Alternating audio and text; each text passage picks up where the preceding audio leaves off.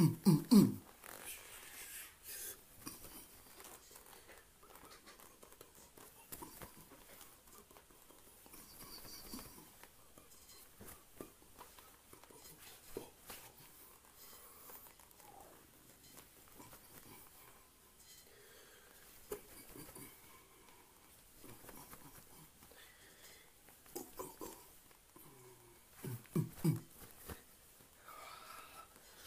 Alrighty then. Obviously, you can tell I'm still in the in the fighting mood. I hope you watched the match, guys. Did you? Did you?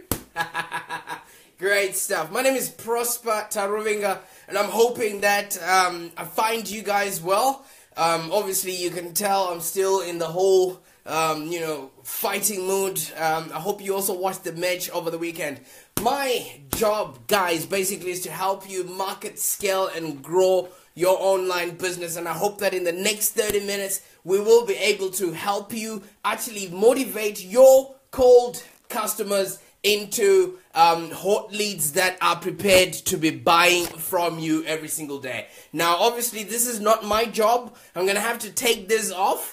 Um, even though they actually make a lot of people a lot of money but it doesn't work in my kind of work all right? So yeah i can see peter just tuned in uh, charlie just tuned in. Exactly i'm gonna be beating all my prospects today and see how it goes. Thank you so much guys. All right so over the weekend um, you guys must have witnessed the um, the match that happened, and uh, even though I did not watch it, but I was listening to it. All right, um, I watched how people responded to it. I watched the whole marketing, and we were trying to reverse engineer it with some of my people, and we realized that what actually worked with that game was a lot of passion and a lot of liking of what it is that you actually do as a person, all right? So you would notice that a lot of people enter into this world of business because of a variety of reasons, and then they end up just, you know, trying to um, you know, put out fires in places that way they did not even start off as. All right, many. Thank you so much for tuning in. All right. So for some people, it's the creative spark that asks that gets you to start your own business.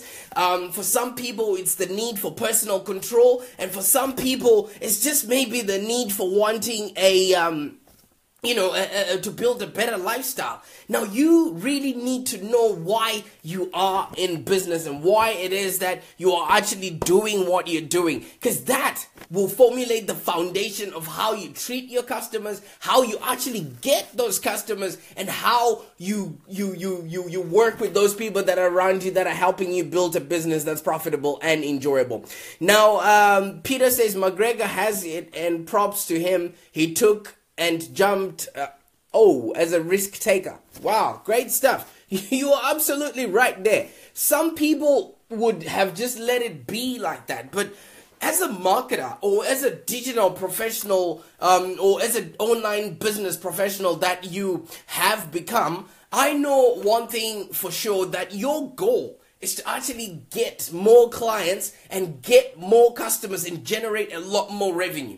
Now, this is what these boys went out and did, all right? They went out and they were marketing themselves, even though they were yelling at each other, and all we we were hearing was, um, you know, them shouting at each other or whatever, but they were garnering you know, people to trust them. They were garnering people to go in and, and, and vote for them in terms of betting for them and showing up for that fight. Apparently, they exchanged a lot of money after the fight. I am not at liberty to testify how much it was, but this has been one of the biggest marketing, um, you know, phenomenons that is yet to be studied and for people to actually find out what happened there. These are two people that are in two genres of a sport that have come together and made something lucrative my own humble, you know, conclusion would be okay, they came in and created content. All right? They created content of which us as people consumed. Now, you as a small business person, maybe if you really want to get more money, get more um, prospects coming your way, you need to figure out who else in your you know network is already getting money from your customers. Who else is already charging or is already benefiting or profiting from your customers? And try and partner with them and either create a product together or either create content together okay? Because this is what happened. This genre is in our day-to-day uh, uh, history or in, in everything else that we know would never have combined up until these guys decided this is what they wanted to do. All right? So if you look at it at that perspective, that two different people came in and created content, and we watched and we consumed, and they got paid out of that. Imagine what you can do if you co- if you collaborate with people that are already getting money from your customers all right so sometimes we might be you know trying to go all out and and, and do it all by ourselves when we can actually just partner with someone who already is billing our customers maybe you are a dentist your customers live in houses, don't they? All right. So why don't you partner with a real estate agent who has just sold a house to somebody who is in your area? All right. So it's it's it's small things like this that if you are in tune with what you're doing and how you're working with it, it will be easy for you to actually figure out the lessons that come out of you know what we watch in our everyday life. Okay. It wasn't just a boxing match. That was marketing at its highest um, point, and I'm gonna be sitting down and actually try to reverse engineer and see exactly how they managed to get that all happening. I see Peter Comby just tuned in. Um, Janice is saying collaboration is powerful, right? Janice, exactly. Just like how I wanted to collaborate with you, and I hope that we will get a time and a chance for us to actually do that. And thank you so much for tuning into this, um, you know, live segment of the show today. All right, so like I said, our main goal as digital entrepreneurs is to figure out ways that we can generate more clients and actually provide a better service for them. All right. So if if McGregor didn't come up with whatever he did in order to to to to to garner his side of of of you know the competition, maybe people wouldn't have come to watch. All right. So people want to do business with those that they know, like, and trust. If you look at it that way, they already have a following. But that following was not going to do anything if they did not start fighting each other. All right. So whoever is following you right now may not be, you know, stimulated to want to do business with you. But if you combine forces with somebody else who's already in the industry, you might start getting their attention. All right. Or if you start getting featured in podcasts, or if you start getting featured in other people's, um, you know, um, blogs, etc., etc., you might reach an audience that had never heard of you. Okay. So Peter says the bars and restaurants made so much money last night. The drinks never stopped pouring. Attraction marketing. Yes, sir. Exactly. All right. So whatever you have right now Try and find somebody who can uh, sort of, you know, collaborate with. Find somebody who is also in a position to enhance what you already have. Because the only reason why we are not really getting as far as we want is because we're holding on to whatever business that we have. We're becoming just romantic to what we only possess and not knowing that Sally down the road is already billing your customers. All right. So that could be something that you could actually take from this fight. Instead of you posting and sharing other people's content, why don't you look for people to create content with? Collaborate with them. And once you've collaborated, look at what the magic happens. All right. This is something that we haven't seen in the history of marketing. And it came from people that are not even marketers. All right, so we need to really figure out are we doing the right thing? Are we attracting the right people? If not, who is and how can we put them in to our, you know, our environment? Okay? Because if we are going to be going, look at me, look at me, look at me, we are born to contribute.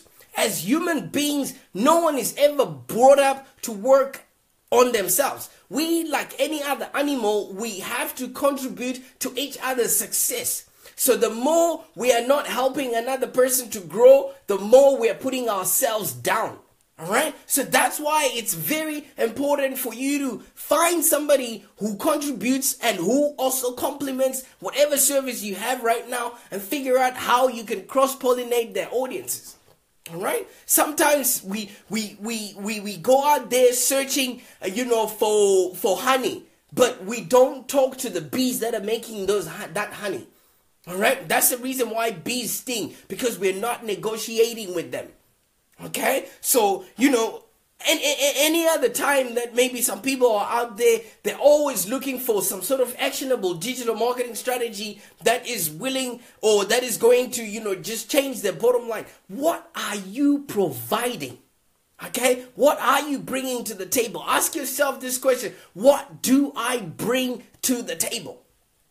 All right, because if you're going to just be expecting people to give, give, give, and you're not giving anything in return, then that's the reason why your bottom line is not moving. That's the reason why your phone is not ringing. That's the reason why you are not getting the right kind of customers that you actually want right this moment. All right, what are you giving in order to get um, whatever you are expecting for your business to be profitable and enjoyable? All right, in the process of all of this happening, do you know Customers need to see you at least six to seven times before they even interact with your stuff.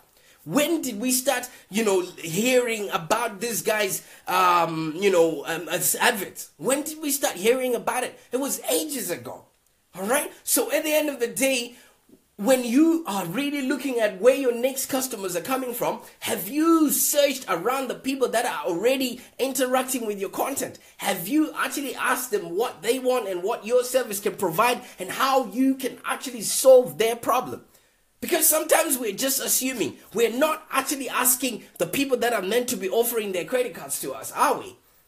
All right. So at the end of the day, we already have these things that are around us. We already have these people. We already have the resources. But I think we're still searching for that one thing. And you won't find it if you're not going to step outside of the frame and look at the bigger picture. All right. Now, Peter says, I love the people that I'm around with on social media. You're one of them. Thank you so much, man. And Manny Shamiso says, preaching. oh, I wish it was just preaching. But you know what? At the end of the day, it is things that are around us, we don't realize that there are so many lessons. But if your mind is not open to see those lessons, you won't see them. Right? There's always people that are creating content, there's always people that are consuming content. If you're just consuming and not actioning on that content, you won't be able to see what I'm talking about. This video might be boring to you and you might think it's all over the place. I'm talking about boxing and now I'm here. How does that all correlate? All I'm saying is Figure out who is already taking money from your customers and try and contribute to them so that you too can be, do, and have a business that's profitable and enjoyable. Okay? You know, the reason why I'm here is I, I get um, if this is your first time watching this um, lunch and learn, it goes on for 30 minutes, and I own a digital marketing agency here in Melbourne where I help you know digital marketers and other business owners to start, scale, and grow a business that's profitable and enjoyable. Okay, and most of the time, I get a lot of people asking me, "How do I get customers? How do I grow my business? How do I, um, you know, reach out to people that have never um, heard about me, etc., etc." All right, I want to tell you something. When I started my digital agency, I started off with zero. I knew nobody when I came here to Australia. All I did was became a person of value. All right, if you are going to give value to people, no matter how much um, you know how much time it's gonna take you no matter how much of it you're gonna get and get nothing back it will all start compounding and coming back to you. You gotta continuously create and relate for the people that are going to be paying you in the end. Conor mcgregor or floyd mayweather they've been laboring for years for them to get such a big paycheck all right, all they gotta do now is just blabber on air for 30 minutes and then they get such massive paychecks. But it's a lot of work that goes on behind the scenes that we don't get to know. All right, so sometimes you might think that some people are just born with it or some people just roped up, but no, there's a lot of work that goes on behind. What are you doing to contribute to the whole ecosystem of you know entrepreneurship that's happening around you? All right, you can't just expect to be taking, taking, taking if you're not putting something back in there. You know, some people enter the world of business for a variety of reasons, and and for some, it's probably because they're just, um, I mean, very creative. But what are you contributing so that you can get that paycheck back What are you creating and how is that relating to the people that want to watch that? And what value are you putting, um, you know, out there? Right. Now, Peter says the grind includes the weekends, although rest is important. What do you think of people that work nine to five or entrepreneurs during the summer? What are your thoughts? You know what, Peter? At the end of the day, it depends what your ultimate goal is.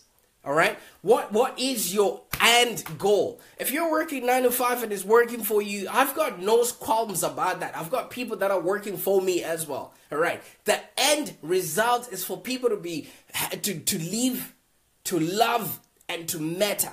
If you're not doing any of those three, if you're not leaving, if you're not loving enough, and if what you're doing is of no substitute or, or substance to anyone else, then you're doing yourself a disservice if you're living the life that allows you to be, do, and have all that you want, that, my friend, is what we all do this for, okay? If you're loving what you're doing, the people that are around you, and all the outputs, that also, Peter, should, um, you know, help you be, do, and have a life that's enjoyable. But if what you're doing does not matter, if what you're doing can be replaced, all right, if what you're doing is something that nobody really cares about, if what you're doing has no contribution to society, then you're not going to be fulfilled. Then you're not going to live. Then you're not going to love. Then whatever you do doesn't matter. All right. So I'm not here to condone anyone that's doing whatever in order for them to to have um you know a life that they really really want to. But Peter, all I'm saying is if you can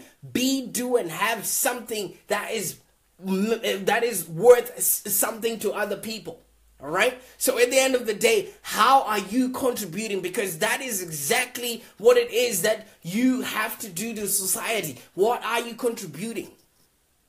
All right. It, you could be contributing being a bus driver. All right. Exactly. At the end of the day, all you really need to do is to contribute. That will then give you fulfillment. Then you can leave love and you, you do what matters. All right. So this this is something that I'm not here to say my way is the right way or your way is the highway. But all I'm just saying is if you really want to have a business or a life that's profitable and enjoyable, you gotta do things that contribute to value in other people's lives. That way they will then reciprocate that with, you know, giving you um, money or whatever it is that you're asking off of them. Because at the end of the day, some people are not giving anything. Not even their time, not even a status, not even money to contribute to their Facebook ads, etc., etc. Okay? So that's pretty much how, um, you know, it works out. So once you have people that are around you, Peter, that are actually doing stuff to help you grow your business? Where would you find your first customers? Or where would you figure out how can you contribute to these people so much that you will get a return out of it? Because whatever we do life even re- re- requires an ROI okay? What are you doing in order to get something out of your endeavors on online your endeavors in life your endeavors anywhere else? All right Great stuff. And those that are talking about Houston, I mean, hopefully things are working out there. Um, you know, the um, the floods might be going on well. So one other question you gotta ask yourself. Um, thanks, Judy, for tuning in. Who are the people that are likely to buy from you, and how can you actually get referrals? All right, a lot of people are missing out on business because they don't have continuous business or they don't have a continuous flow of leads that are coming into their business. Because business are the life, I mean, leads are the lifeline of your business. All right. Now, where are you going to get those first customers? And how are you going to bring them towards your content or the work that you're putting out there? All right. And how are you going to continuously sustain them so that they would want more from you, etc., etc. Okay. So you might ask yourself, maybe I don't know people that can actually contribute to my business. You can ask yourself, who are your personal friends and their friends? How can they contribute to the growth of your business? All right. Uh, Peter, I, I don't know what you're trying to get at. Explain your method of leads on autopilot. I don't have a method of leads on autopilot, Peter. I actually go out every single day. You know what I'm doing, man. I'm, I'm, I'm creating and relating for the people um, that are going to contribute to to to to to my um, you know business. All right. So I don't normally just leave things on autopilot. I actually do work, and I'm not sure where you want to get to with this. And um, at the end of the day, it's just one of those things. Can you, um, yeah, try and figure out where you want to go um, with your questions so that I can answer them truthfully. All right. And um, yeah, just going back to what we're talking about today, we're really talking about lending your um, you know, your, your, your customers, all right? You need to figure out the people that are around you. You need to figure out, um, you know, what, what connections that you actually do have that are also doing business that you can cross pollinate with them. So that's the reason why I gave the, the, the fight earlier on that these two people already have audiences. All right, Floyd Mayweather and um, Conor McGregor, they already have audiences that they cross pollinated and they made a lot of money with that. So you really want to brainstorm and find out who is that one person that already has an audience that you can tap into? All right. And you want to figure out also who are your business connections? Maybe former people that you've worked with, former um, employees, employers, or customers that are already working um, in, in, in, in your business uh, or you've worked with before, those can also help you create content and actually reach out to audiences that you never thought existed. Okay. Um, you also want to find out what are your contacts outside of your own genre of work all right so you might be um you know you volunteer um, at the rotary near your place or you go to church or things like that okay? Those people can also help you um, you know figure out how you can um, reach out to other people. Peter says facebook ads do work on business pages not your personal profile. Switch topics quickly. Um, yeah. Well obviously i'm not here for you man. Um, okay, so you want to figure out who are your other contacts as well that um you know in trade associations and people that you have worked with before and people that have actually had a business that you actually um, you know admire all right? So what you really really want to um, what you really really want to figure out is are those people aligned to your work already? Do they actually want you to contribute with them and figure out how you two can help them? Find out what it is that they already need at the moment. Find out exactly what it is that they can, um, you know, you can contribute. And once you know that, once you can figure out who that person can be, it will be easy for you to actually go out and contribute to their work, all right? So you can maybe send them an email Maybe make a follow up phone call and just really continuously contribute to how they can be of service to you. All right. So at the end of the day, I really hope that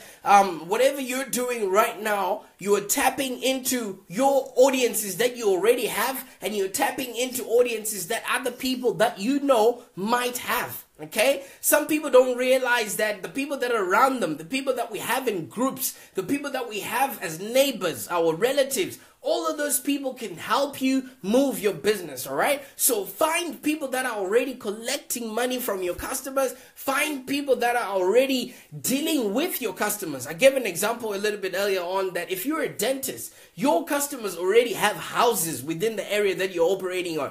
Find out from the real estate agents in your area which people have just recently gotten a new property, all right? And offer them as a welcome to the neighborhood, um, you know, offer. You actually then give them something for them to, um, you know, you, you give them something to, um, you know, you give them a, a free, you know, teeth cleans or something like that so that they can actually uh, get to know about your business, etc., etc. A lot of the businesses that we're running, they're being run to the ground because we're not contributing enough and we're not reaching out to people that can possibly help us um, you know, without, um, you know, us spending a lot of money on Facebook ads or spending a lot of money on, um, you know, just trying to reach out to audiences that we have not yet reached out to. Timothy Gentle, thank you so much for tuning in. All right. So find out which of those people, um, your friends, um, and their friends. What are they already doing? How can you contribute? How can you be of value? Because you are paid in direct accordance to the value that you can bring into the marketplace. All right. So if you're not giving value, don't expect the market to reciprocate with anything. So ask yourself today, what have I done? Who have I connected with? And who have I been in touch with that can help you be, do, and have a business that's actually profitable and enjoyable? Okay. So, you know, some of these things that we, we, we, we might, um, worry about or, you know, just really go in and try and, and get, uh, what do you call it? Just try and get some sort of a service or some sort of a course that will give you that one thing. Some of the things are in us.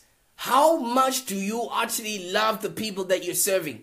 How much are you ready to start creating for them? How much are you ready to start understanding what it is that you can actually do for your customers? All right, because these days it's not a matter of what you know or or how um, you know you, you're doing that. People want to see results, and if your business is not providing those results, if your business is not contributing to the greater good of society, a lot of people, it will be difficult for people to see. All right. So if you're just tuning in, we're talking about how you can actually just tap into whatever, um, you know, um, audiences you already have and also audiences of people that might seem as your competitors but you can actually then create something that is actually uh, meaningful for yourself. And as uh, people are saying you can ask for referrals and their references. And robert says hi sean um, it's a big love for your friends that I'm doing. And yes, I know, Robert, you have a really big audience that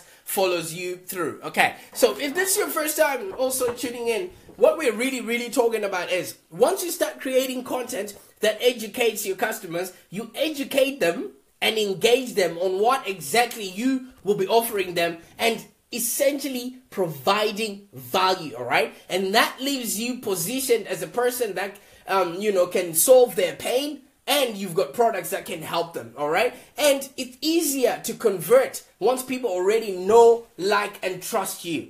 All right. It takes up to six to seven times, like I continuously say, for anyone to actually, um, you know, realize that you're the person that can help them with their business. Okay. So some people are just really watching. They still may be a little bit cold. They still maybe um, haven't heard about your business. So at any point in time in your business, you're gonna have cold, you're gonna have warm and hot prospects. Now, for you to bring those people to convert and become your customers, all right, you're moving them through a sales cycle. You can do that through content. And like I've been saying, you really need to figure out if you can't provide the content, find who you can collaborate with.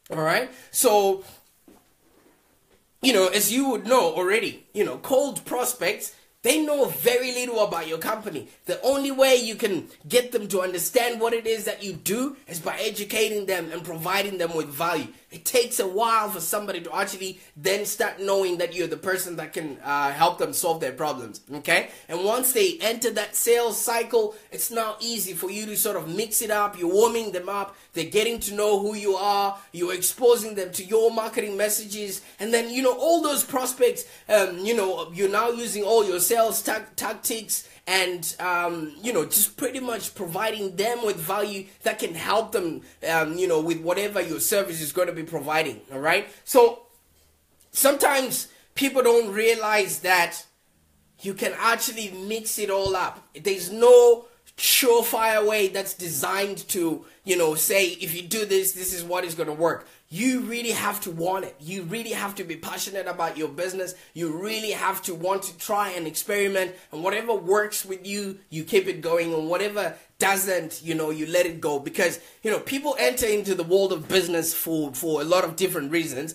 And, you know, some are just there for just being creative, but they're forced to then want to become a business because, yes, bills have to be paid. And Some just need to have personal control as to how, you know, they want their business run. And some want commercial success or to create a better lifestyle. Now you decide what you are in business for. That way, it will also just, you know, determine how you put out your content, who you talk to and how you reach out to those people. Because if you're just in it for the money, you will find out that everything that you do is not going to work. Okay, you'll find out that you will soon quietly exit that business, hopefully without any financial constraints. All right, and maybe you might just remain committed. But if your your heart is in it, you know what I mean? You're contributing and you're creating content just like what um, we just saw on the weekend. Two different people that just came together and contributed to um, creating content that has now become a masterpiece. All right, find people around you already and just really, really connect with them. Okay.